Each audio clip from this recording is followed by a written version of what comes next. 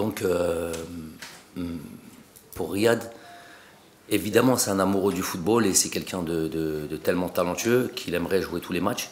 Notamment les matchs, euh, ils ont des matchs euh, très intéressants avec une équipe comme Manchester City. On a toujours envie de jouer parce qu'on sait qu'on va voilà, notamment avoir la possession de balle. Pour des joueurs offensifs, c'est très important.